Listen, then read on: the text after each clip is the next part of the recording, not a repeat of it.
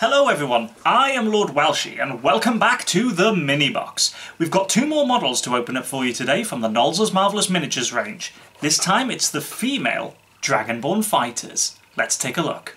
These are the female Dragonborn Fighters from the Nolzur's Marvellous Miniatures range.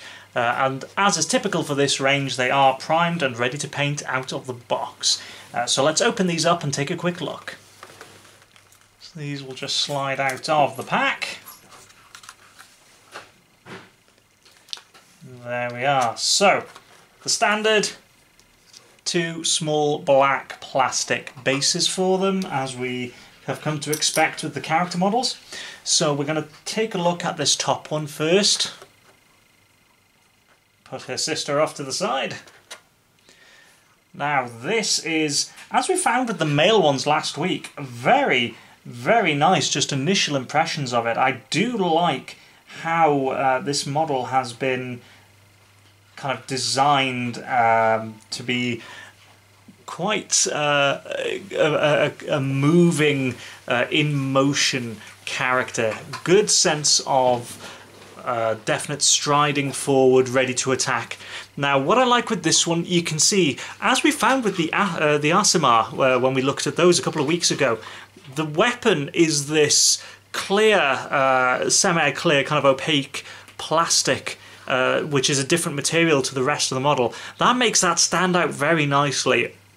Now it seems that they do use this for kind of magical or divine effects on their models, uh, which I think works really, really well. Definitely gives it a, a very nice kind of character and flavour to it. Looks uh, certainly suitably powerful as if it's uh, doing something out of the ordinary that you wouldn't expect. The way the cloak here is billowing upwards, there's a definite sense of purpose and speed to the stride forward.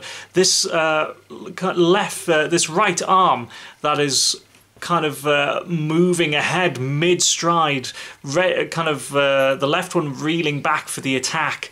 That looks very nice. Good level of detail on it, as we found with the cloak on the male Dragonborn um, fighters. You've got these kind of nice ridges to give a good level of uh, kind of detail when you're doing your painting, whether you want to do your dry brush, your highlighting, or a wash to get into these recesses and really give it a good shade kind of effect as well. Um, the uh, detail on the armor is quite nice. Um, you've got the kind of the breastplate here on the plate armor. Um, this kind of part of the traveler's cloak underneath coming down, which is nice. Um, good bit of detail on the gauntlet here. You can see kind of the separate plating in the armour uh, and with the pauldrons good level of detail on uh, the raised sections. Again should allow for some nice painting effects on there. On the whole I really do like this. Looks very very nice. Uh, and let's take a look at her sister the second Dragonborn fighter. So this is the second of the Dragonborn female fighter models. Pop that to the side and Again, that looks very, very nice. Now this one is dual wielding hand axes. That is very, very cool. Um, her left leg, her left foot is planted firmly on this rock as if she's about to kind of leap forward into this vicious attack, um, which works very, very nicely for a fighter, I think. Um, Again, the level of detail on this one, as we've found with a lot of these Nolzur's Marvellous Miniatures, very good. Uh, you've got enough of the effect to kind of the, I think that might be chainmail or uh, underneath. Um, that should pick out quite nicely any kind of metal colouring. Um, for the model, uh, you've got the uh, plate armour on the front, uh, which kind of comes around to the back, and you do have the strap uh, kind of across the shoulder if you want to get the leather paint uh, colour in there as well. Um, I like that she's got the greaves uh, on the front, um, kind of the knee armour, the shin armour, and again we'll see if that comes up, the buckles and the straps down the side here. Um, I don't see any major issues with the model itself. As we always find, a couple of little mould lines that may need a little bit of cleaning up um, but nothing too drastic. This shouldn't pose any particular challenge um, for any kind of uh, modelers or painters out there, I don't think. Um, there's enough kind of wide surfaces to get a good level of paint on there, but there's also enough detail to get some finer work done as well. So very, very nice. What I did forget to mention before I opened the miniatures, um, as is typical for the Nolzur's Marvellous miniatures, on the back you have examples of the colour schemes that you can use uh, to give you an idea of what the miniatures could look like once they're painted. And you can see the flaming sword effect, which is that clear plastic we have on that first one that we opened. Um, so whether you want to paint that with uh, like a yellow or an orange wash, um, or just a nice flaming effect, I think that's probably something that would give me the most trouble just to try and keep that clear plastic without drowning it out in colour. Uh, but that certainly is something that I think looks very, very good in these models. Now, comparing the female Dragonborn fighters to the male Dragonborn fighters that we opened up in last week's video, I think comparatively they look very good next to each other. Um, what I think is interesting to note is the male uh, fighters do look a little bit bulkier, a little bit heftier than their female counterparts which I think is intended to try and set them apart. Um, the female models, I think, typically do have a little bit more of a, a thinner, kind of svelte look to them to try and give them this more feminine characteristic, which for something draconic, I think is quite difficult to achieve in other ways. Um, but I think the effect works quite well. They don't look any weaker necessarily than the male versions. I still think they look like powerful, strong characters, and they fit quite nicely in the range. Um, but I I do think that the differences to tell them apart are kind of suitable for what you'd expect from these miniatures.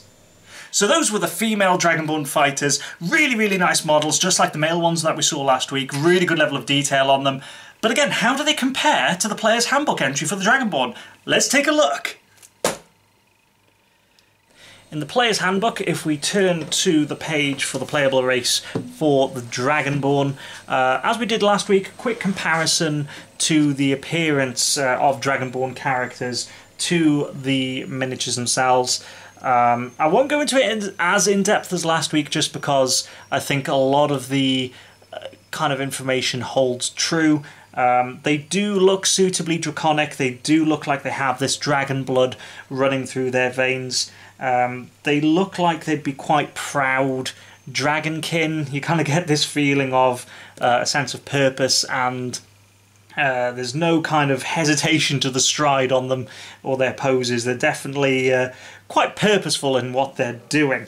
Um, again, comparing them to uh, a human-sized character like the Aasimar uh, we looked at previously, um, because these are about the same height as the male Dragonborn, um, you again get this feeling that they are a good amount taller, quite uh, large, hefty creatures compared to uh, human sized uh, characters and creatures within the world of Dungeons and Dragons. So I think that fits very well. They are described as being six and a half feet tall, up to 300 pounds, um, strong hands and feet, talon like claws. Um, with uh, three fingers and a thumb on each hand which I think, actually, yes, I hadn't noticed this before. Um, wait for that to focus, if it will. Three fingers. Look at that. And a thumb. Outstanding. Attention to detail. Gotta love it. Just little little details like that. Very cool. So that fits very, very well. Um, and I do like those Dragonborn miniatures. I think they're fantastic. Those are the Dragonborn female fighters. Again, as we found with the male Dragonborn fighters we looked at last week, really, really nice models. The extra size of them compared to the human-sized characters allows for this level of detail that should make them a bit easier to paint, um, and they just look absolutely brilliant. Again, as I said last week, £5 for those two models, especially if you want to play a Dragonborn character or just want to add to your collection of miniatures. 100% I recommend them. Definitely get them. This has been the Mini Box and thank you for watching.